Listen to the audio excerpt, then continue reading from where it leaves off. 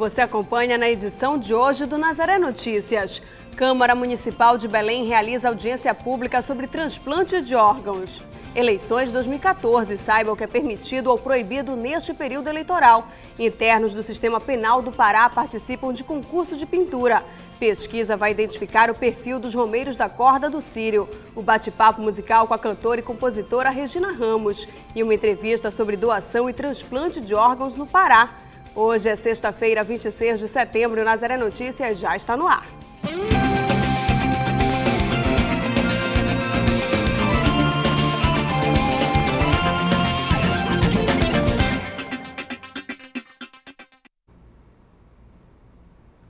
Edição de hoje começa falando de doação de órgãos. Essa semana se discutiu o transplante de órgãos, isto porque neste domingo será celebrado o Dia Nacional da Doação de Órgãos. Na Câmara Municipal de Belém, o tema foi abordado durante uma audiência pública promovida pela Comissão de Saúde.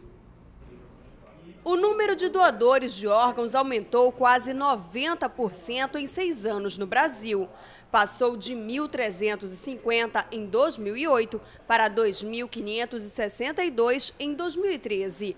De acordo com o Ministério da Saúde, nos seis primeiros meses deste ano, o país realizou 11.400 transplantes. O Pará está em último lugar na quantidade de transplantes por estado. Este ano, a Central Paraense contabilizou apenas 164 procedimentos. A causa disso é multi, é, são várias causas juntas que contribuem para isso. A gente começa pela falta de conhecimento da nossa população sobre esse tema doação de órgãos, né? que é, um, é uma, de certa forma, há uma segurança em você efetivar a doação de órgão no nosso país e no nosso estado, porque a legislação que é, gerencia tudo isso é muito rigorosa, então todos nós trabalhamos de uma maneira muito séria, né? É, com, com, com, essa modalidade de tratamento. Então, as doações são baixas também porque faltam algumas estruturas, há hospitais que não têm, ah, vamos dizer, aquele, aquela capacitação, os funcionários não estão preparados para fazer esse tipo de atividade, então ah, o setor os funcionários da saúde em si precisam também desse esclarecimento. No Pará são realizados o transplante de córnea e rim. A fila de espera para esses órgãos é de cerca de 1.500 pessoas. Caso o paciente necessite de um outro órgão, como coração e fígado, ele tem que entrar no tratamento fora de domicílio, ser encaminhado para outro estado e ficar na fila de espera nacional de transplantes.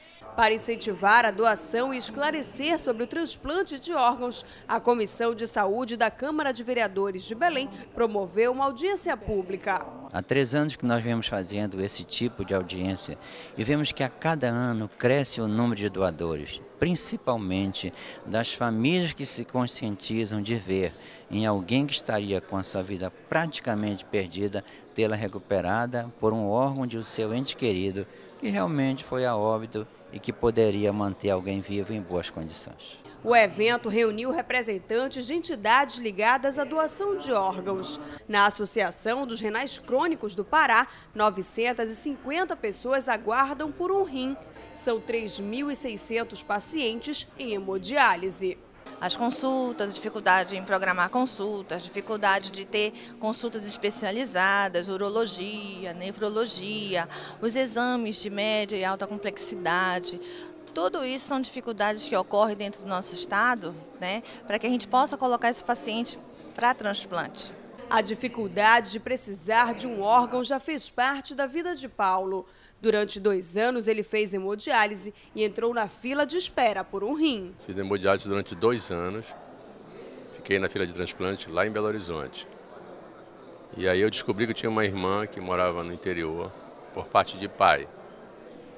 Aí minha esposa veio para Belém, tentou localizar, conseguiu. Quando ela soube que eu estava precisando do rim, ela se prontificou na hora, rapidinho, em menos de dois meses eu fiz o transplante.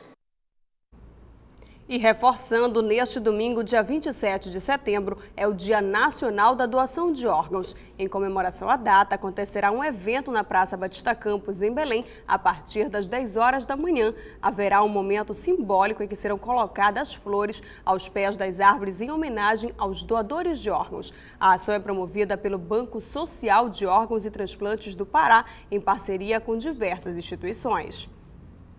E vamos continuar falando sobre doação de órgãos e transplantes. Embora o Brasil seja o segundo país em número absoluto de transplante de rim e fígado, a falta de estrutura nos hospitais e a negativa familiar ainda causam muitas preocupações. No Pará, mais de 1.500 pessoas estão na fila de espera aguardando a doação.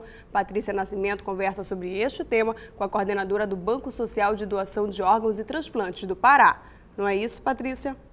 Nós estamos recebendo hoje aqui a médica gastroenterologista e hepatologista, que é coordenadora do Banco Social de Doação de Órgãos e Transplantes. Muito obrigada pela sua presença aqui conosco. Antes da gente começar essa entrevista, eu quero lembrar a quem está em casa que você pode sugerir temas aqui para as nossas entrevistas, sugestão de matéria também para o Nazaré Notícias, pelo número 400692 11. Agora, eu queria que a senhora começasse falando, doutora, por favor, qual o objetivo do Banco Social de Doação de Órgãos? Então, muito obrigada pela oportunidade. É, mais uma vez a gente está aqui, a gente esteve aqui ano passado também na mesma época e agradeço a oportunidade. Bem, o Banco Social, nós temos um ano e pouquinho né, de, de ações.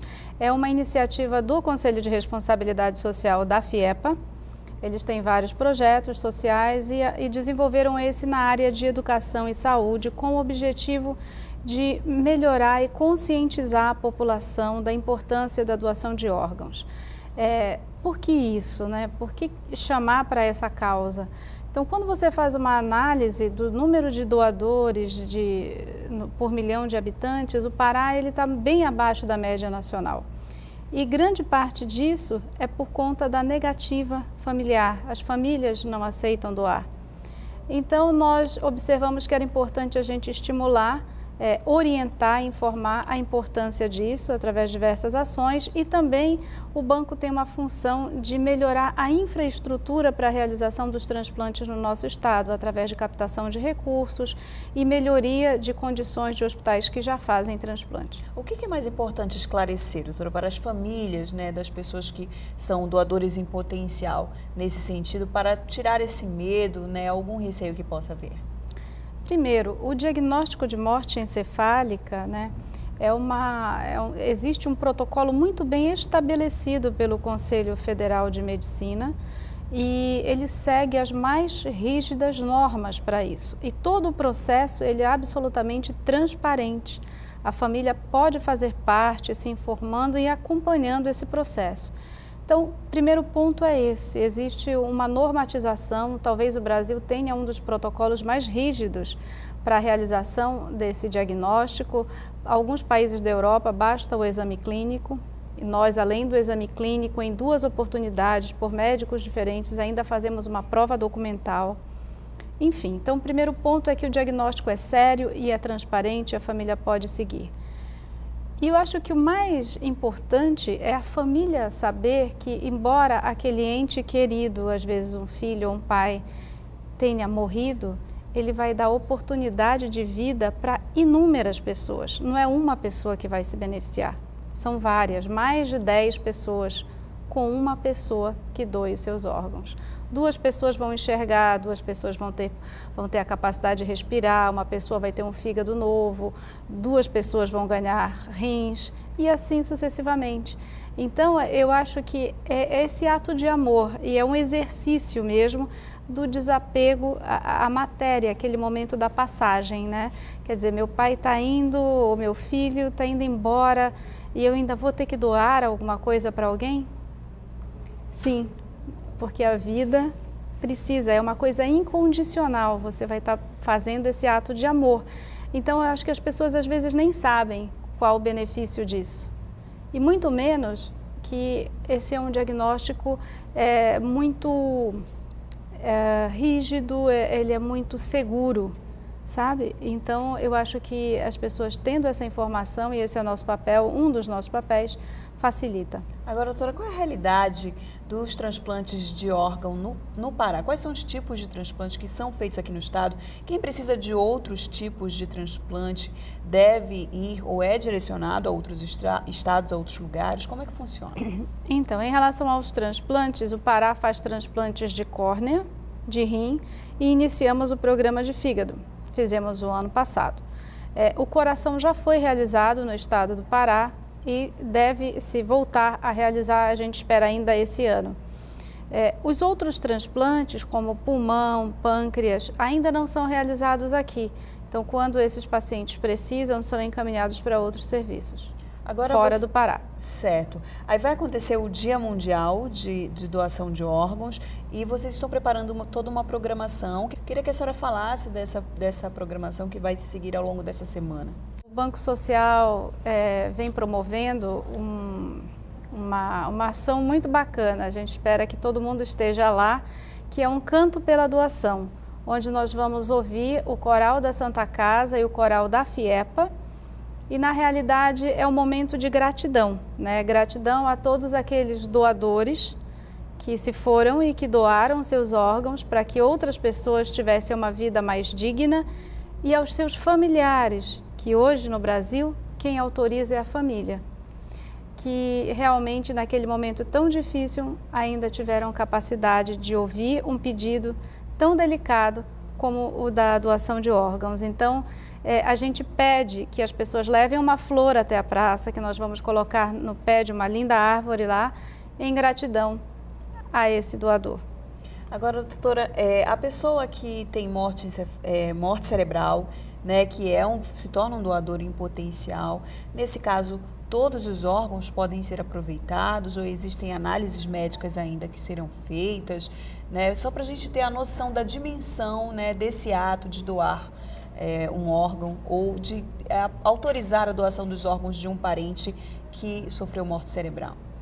Bem, então, o paciente que está em morte encefálica é feito todo um processo para avaliação. Né? A família primeiro é comunicada que esse paciente está morto e o coração ainda bate por algum tempo, então por isso que há um, a gente precisa da agilidade em todos os processos, inclusive da consciência da população, para que nessa hora que vá se solicitar e que já tenha o diagnóstico, a família não diga, não, amanhã ou daqui dois dias eu vou te dar a resposta. Isso não pode porque muitas vezes a gente perde o doador nesse processo. Então, a partir do momento que a família está consciente da importância da doação, ela diminui esse tempo de pensar eh, por decidir, né? Então, são feitos uma série de exames, sorologias, para avaliar se o paciente tem HIV, se tem sífilis, se tem hepatite. É, são feitos exames para avaliar a função de cada órgão, se esses órgãos estão ok, se não estão já comprometidos. Muitas vezes a gente encontra pacientes teoricamente rígidos, já com insuficiência renal é, ou insuficiência do fígado. Então, a decisão pela utilização dos órgãos, ela é feita pela equipe que vai captar e que vai transplantar. Então, muitas vezes existe já um fígado, por exemplo, com leves alterações, mas que ele está viável, tá bom, então ele pode ser utilizado. Existem critérios, cada órgão tem os critérios. E aí, a partir do momento que esse paciente está com todas as sorologias ok e que já tem um, um receptor programado, nós vamos avaliar se para aquele receptor aquele enxerto é compatível. E cada órgão tem uns critérios, aí tá tem certo. detalhes. Tá certo, doutora. Então tá todo mundo convidado neste domingo na Praça Batista sábado. neste sábado na Praça uhum. Batista Campos, dia 27, para participar desse grande evento. Muito obrigada pela sua presença aqui conosco.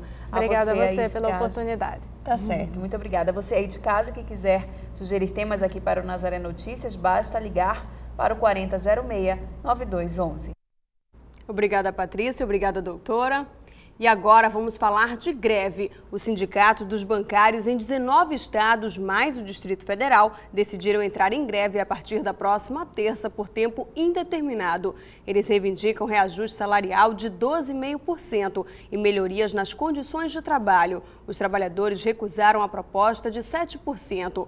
Funcionários dos bancos públicos também rejeitaram as propostas feitas pelas instituições.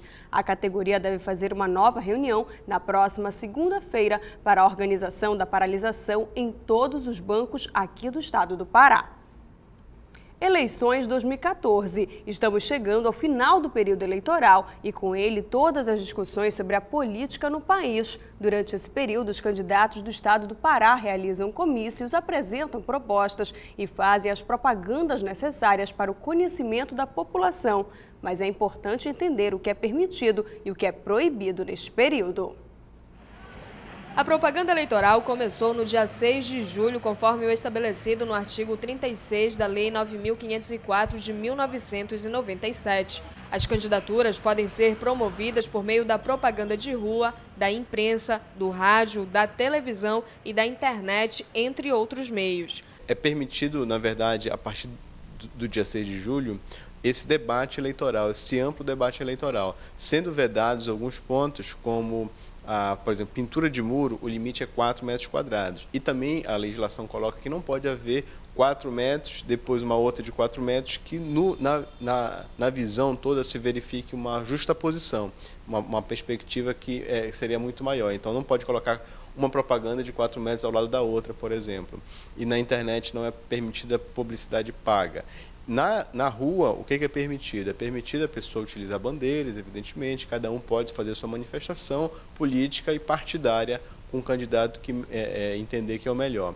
Agora, é, na rua é proibido é, qualquer cavalete, por exemplo, tem que ser do horário de 6 da manhã até 10 da noite. Quer dizer, o cavalete não pode estar além das 10 da noite, sob pena de se configurar uma irregularidade eleitoral. E também esse cavalete, evidentemente, não pode ultrapassar o tamanho de, de, de, de 4 metros quadrados.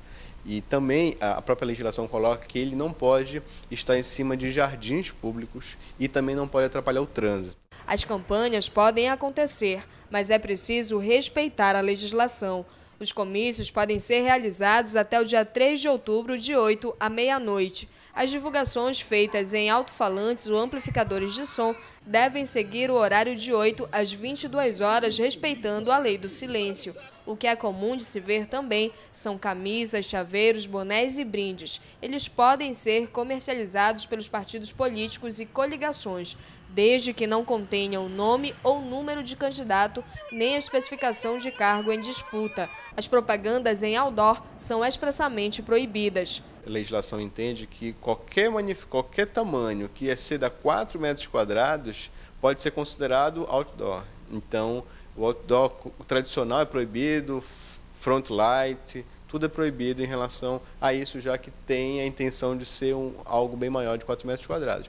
O showmício era muito realizado no passado. Hoje é também uma prática proibida na legislação eleitoral a ideia da legislação foi o seguinte, que o showmício era muito caro, quer dizer, isso fazia que as campanhas eleitorais ficassem muito caras traziam pessoas, é, é, artistas de renome nacional e internacional, e isso acabava custando muito caro. Então, aquele candidato que não tinha dinheiro, milhares de reais, pagar um showmício, acabava ficando muito prejudicado. Porque as pessoas iam àquele local, hum, a maior parte das vezes, não para ver a proposta daquele político, mas sim para ver aquele show ou aquela banda. Então, showmício é totalmente proibido.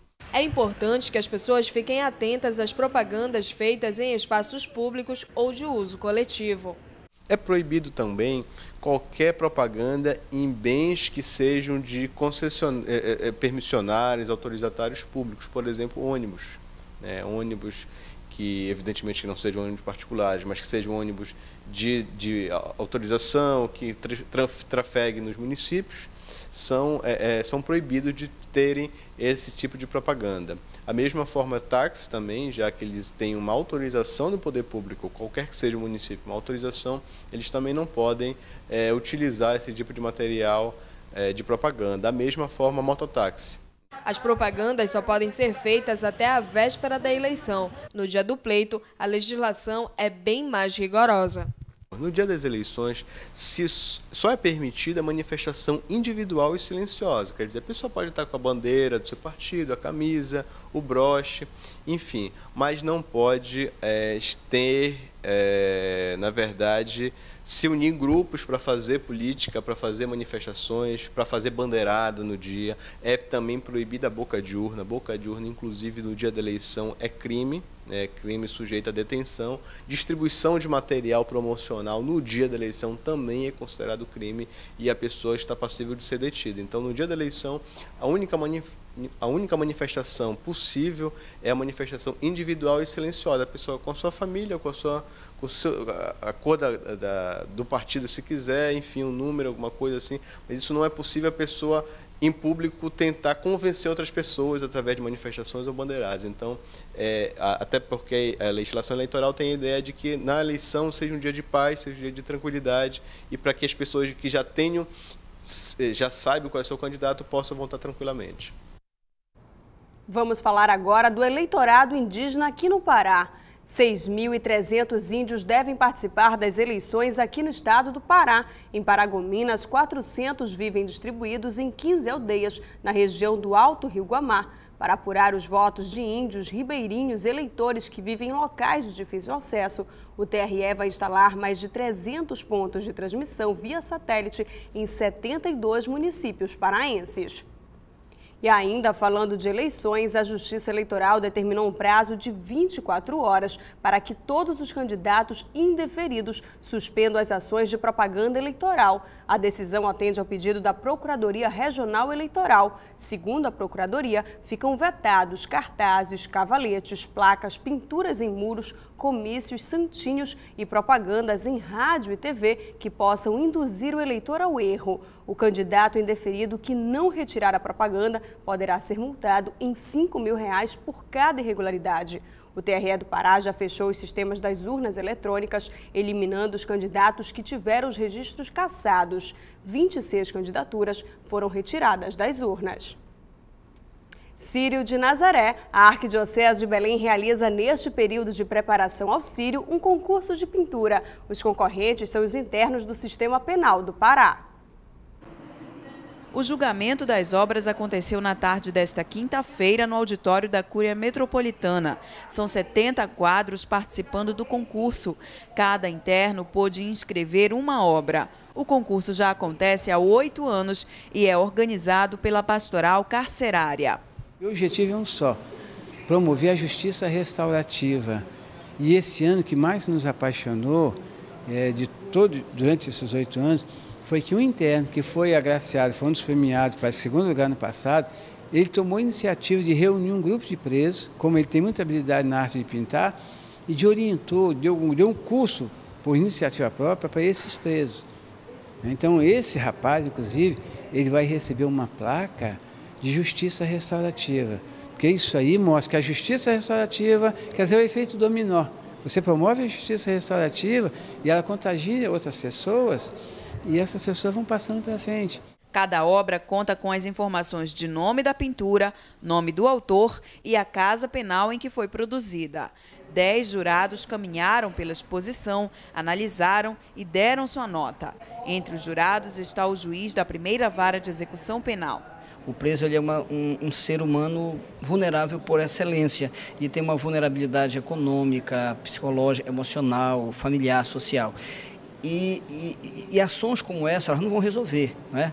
mas elas vão contribuir para esse preso ele seja aceito, né? ele seja aceito, estão me convidando, eu estou participando, isso aqui também me pertence, eu tenho esse direito.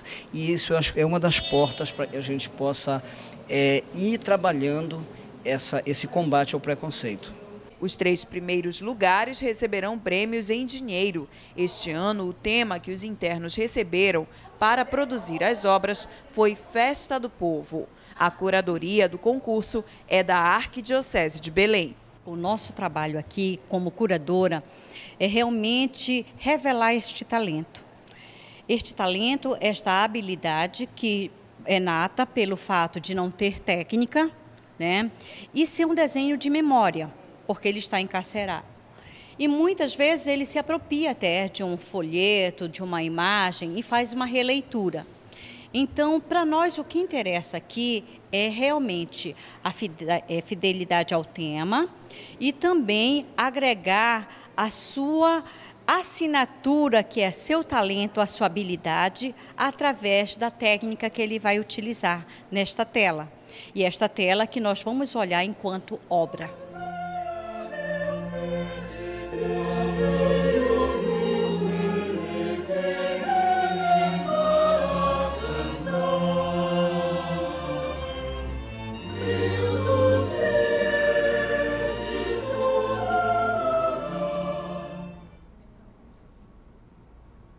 A premiação acontecerá no dia 15 de outubro em uma faculdade particular de Belém, na Avenida Gentil Bittencourt.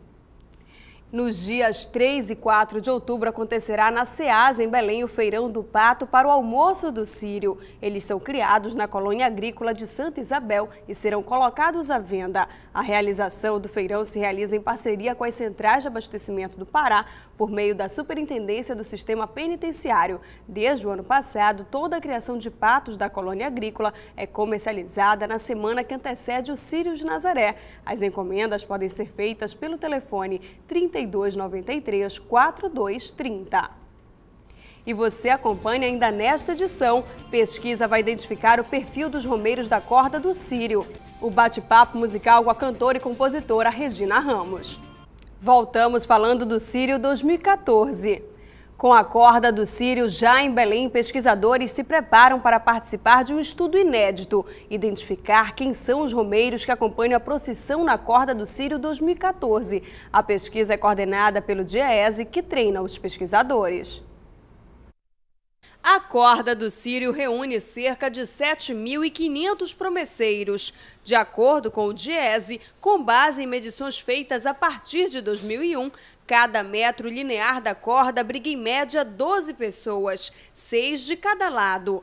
Este ano surgiu uma novidade na corda do Sírio. Uma pesquisa do DIES irá identificar o perfil dos romeiros. Com esses dados na mão, nós vamos, na verdade, dar um salto de qualidade no tratamento com o romeiro da corda, pra, tanto para quem está coordenando, para a diretoria da festa e para a própria igreja, porque esse promesseiro, nós não sabemos por que dar sua promessa o que nós podemos trabalhar em função dele. Então, a ideia básica é que com 15 perguntas que nós estamos atrelando à pesquisa, nós possamos no final dela e no outro ano de novo rebatê-la para saber essa condução como acontece de um ano para o outro. O DIESE terá a parceria da Secretaria de Turismo que financia a pesquisa. A pesquisa ela é básica para que nós possamos conhecer é, as pessoas que participam e através do perfil dessas pessoas. Conhecendo o perfil destas pessoas, nós podemos traçar um planejamento que possa ser mais adequado às ações que precisam ser implementadas no sentido de qualificar cada vez mais os serviços que são prestados e com isso poder, na realidade, divulgar, promover melhor o Sírio e atrair mais ainda pessoas a participarem do Sírio aqui em Belém. Mas mais do que isso, eu diria que as pesquisas são fundamentais para que, conhecendo o perfil dos romeiros, dos turistas religiosos, nós possamos trabalhar para que o Sírio possa impactar no turismo o ano inteiro. 50 pesquisadores se revezarão entre a trasladação e o Sírio. Serão feitos 350 questionários em cada procissão. Os pesquisadores farão 15 perguntas aos promesseiros, inicialmente para saber as informações pessoais, como a profissão, a renda mensal e a faixa etária. Depois, para saber a participação na corda, qual o motivo da promessa, se ele é a favor ou não do corte da corda e se pretende fazer de novo essa promessa no ano que vem. A pesquisa inédita também será a primeira da carreira de Maurício, que espera conseguir segurar a emoção. Como primeiro contato, né, é, assim, emoção ela vai sempre falar um pouco mais alto, mas assim, ser imparcial e ter um caráter ímpar. Com mais de 20 anos de experiência em pesquisas, pela primeira vez seu Aldenor vai deixar a Guarda de Nazaré durante o Sírio tanto guarda como pesquisador, é uma doação que a gente faz. É um, é um trabalho que se um sendo um guarda, o outro sendo como um pesquisador justamente. Sendo pesquisador porque é, é a primeira vez, é, é vai ser uma, um, um, evento que, que vai marcar na carreira de cada um que está participando dessa primeira vez na pesquisa. E esperamos que existam as próximas justamente para que, que o Pará tenha mais turistas vindo para a nossa região. Os dados apurados na pesquisa serão divulgados ainda este ano. De posse dessa informação, a divulgação ainda acho que deve ser esse ano, deve na última coletiva oficial do Sírio, e a partir daí socializar com a igreja, com a sociedade quanto um todo, no sentido de uma contribuição maior para o desenvolvimento da grande festa. Neste domingo, a República de Emaús realiza a tradicional Grande Coleta. A ação é realizada por voluntários e arrecada materiais usados que serão restaurados.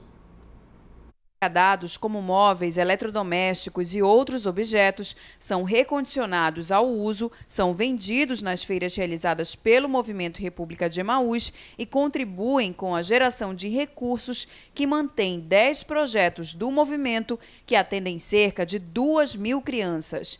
Neste domingo, cerca de mil pessoas participarão da grande coleta. Os voluntários percorrerão os bairros de Nazaré, São Brás, Batista Campos, Marco, Pedreira, Valdecães e o Marizal, recolhendo qualquer tipo de utensílio doado que possa ser reciclado. A concentração dos caminhões será às 8 horas da manhã no estacionamento do Mangueirão e a ação seguirá até às 17 horas. Para obter mais informações, os telefones de contato são 8864-3380 ou 8302-0075. Quem quiser doar, basta ficar atento à passagem dos caminhões. Termina hoje o prazo para os veículos com placas que terminarem em 78, 88 e 98 pagarem o licenciamento sem a cobrança de multa. Ao perder o prazo indicado, não será mais possível a impressão via internet, somente em uma agência do Detran. E os donos de veículos com placa encerrada no intervalo de 09, 19, 29 e 39 têm até o próximo dia 3 de outubro para pagar o licenciamento sem acréscimo de atraso. Vamos acompanhar agora a previsão do tempo para o final de semana.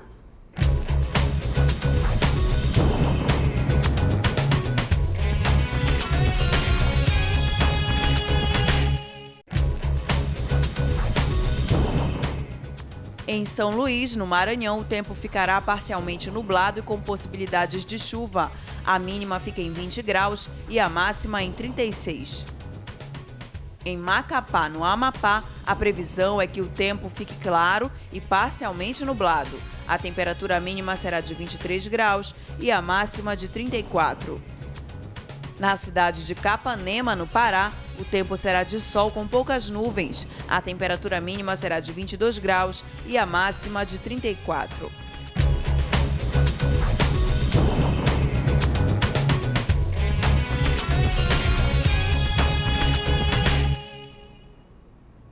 Hoje é comemorado o Dia do Surdo. Uma programação especial marca a data que celebra a luta do direito das pessoas com deficiência auditiva. Pela manhã aconteceu uma caminhada no entorno do Museu Paraense Emílio Guilde. Os participantes levavam faixas e cartazes sobre o tema. Uma das principais conquistas da comunidade surda é o reconhecimento da língua brasileira de sinais como língua natural. E uma das lutas desse segmento é a criação de escolas bilíngues.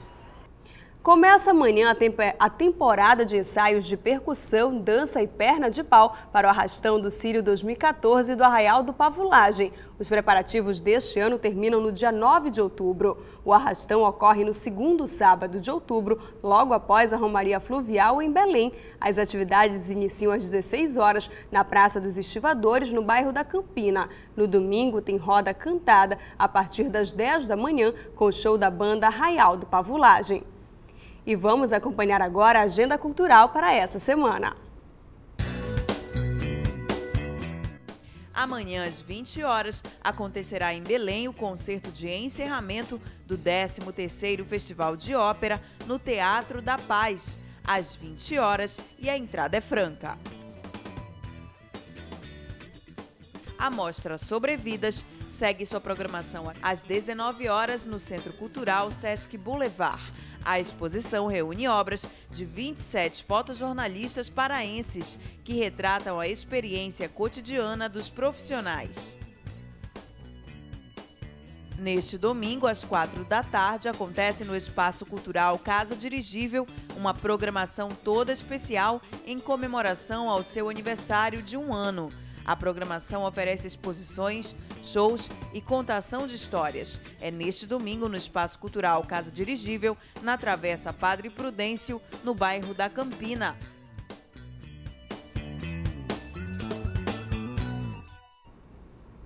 E vamos acompanhar mais uma dica cultural. A companhia teatral Nós Outros e o selo Versivox se apresentam em Belém de hoje até domingo o espetáculo Dom Quixote, o show. A adaptação foi feita por Hudson Andrade, que também faz direção cênica e participação do espetáculo como ator. Carlos Correa Santos musicou as letras criadas por Hudson e também assume os vocais e a direção geral. As apresentações acontecerão no auditório da Fibra e faz parte do projeto Romances Contados e Cantados. Mais informações pelo telefone 8199 1322. E hoje é sexta-feira, dia de bate-papo musical. A convidada da semana é a cantora e compositora Regina Ramos, uma das principais nomes do samba feito em Belém do Pará. Em 2012, ela recebeu o certificado Boêmio do Samba como a melhor personalidade do samba paraense. A artista conversou com Caroline Guimarães. A nossa sexta-feira está no ritmo do samba, na presença de Regina Ramos, que está aqui ao meu lado. Regina, que escolheu o samba, né, para cantar, mas na verdade você já passou por vários estilos musicais. Já, já. A gente começou como vocalista de banda, né, como eu estava conversando contigo. Ficamos seis anos no Sayonara, né, fazendo um trabalho bem legal. E eu pude conhecer todos os ritmos, todos os estilos, né, porque a gente canta baile, a gente canta tudo. Depois eu, eu ocasionalmente conheci o, o produtor Manuel Cordeiro, que na época trabalhava muito com lambada. E eu, ele me convidou para eu participar da banda Esquema Central e logo em seguida a gente gravou um LP, ainda na época LP, né? E que a música Carro-Chefe era do Beto Barbosa. E a gente foi fazendo um bom trabalho. Com o passar do tempo, é, depois de ter oportunidade de conhecer todos os ritmos e tudo o que a música podia oferecer, por amor eu escolhi o samba. Parei, não tô mais afim de ser para você o que nada é para mim. Eu sou muito mais eu. Se pensas que não pretensão, azar é seu. Confirmado aqui, principalmente aqui em Belém, né? O samba, mesmo o samba de raiz, ele tem cada vez mais criado adeptos, né? E enraizado aqui em Belém. Graças a Deus, né? A gente vem fazendo um bom trabalho, tem alguns bons parceiros em Belém, né? A gente está fazendo, a gente fez, a gente conseguiu construir um bom grupo de profissionais de samba, né? É, tem Karen, Karen Tavares, tem Lorena Moraes, tem Arthur Espíndola, Darley Darley, é, a Flávia Anjos, que também veio, do, veio de outro ritmo e está no samba com a gente, graças a Deus. E a gente acabou fortalecendo o movimento, né? E graças a Deus o samba está num momento bem legal, né? Esquece até que eu possa existir venha com sua obsessão. Pois só você é quem quer ter razão. Eu não vou mais aturar. As pessoas podem já esperar ou criar um, uma certa expectativa para quando vão receber esse CD? Olha, eu acho que em abril a gente está lançando, né? Vem com música do Arthur, Espíndola, vem com música minha, Alceu Maia, Pedrinho Cavalero e alguns outros grandes compositores, Darley Darley, alguns outros grandes compositores da terra, de samba, né? Se Deus quiser, eu consigo lançar. Eu estou querendo lançar dia 2 de abril, no dia do meu aniversário. Ah, é um presentão. É, para mim, né? Quanta coisa aprendi, o mundo me ensinou que vale a pena amar, acreditar no amor e a ele se entregar. Vou vivendo assim, entre o não e o sim. Como está a agenda de shows para o público que gosta do samba? Olha, em função desse projeto que a gente tem de fazer esse, esse, esse CD, eu dei uma paradinha né, no momento nas, no, nos, na agenda de bar. E a gente está eventualmente fazendo é, alguns trabalhos de, de teatro. Né? Então a gente está com um show programado para o Sesc em dezembro. Então, nesse exato momento, a minha agenda é só. Eu estou totalmente voltada para a gravação do CD. Entendeu? Regina, muito obrigada por conversar conosco. Obrigada e um grande beijo a todos. Né? E se Deus quiser, logo, logo a gente se fala, né? trazendo o CD, se Deus quiser. Deus quiser. Isso aí, até uma próxima vez. Se você gostou desse bate-papo aqui com a Regina e também das matérias exibidas aqui hoje, pode acessar o nosso site que é www.fundacionazaré.com.br ou então a nossa página no Facebook. O Nazaré Notícias fica por aqui. Tenham todos um excelente final de semana e até segunda-feira. Eu sou o samba, sou natural daqui do Rio de Janeiro. Sou eu quem levo a alegria para milhões de corações brasileiros.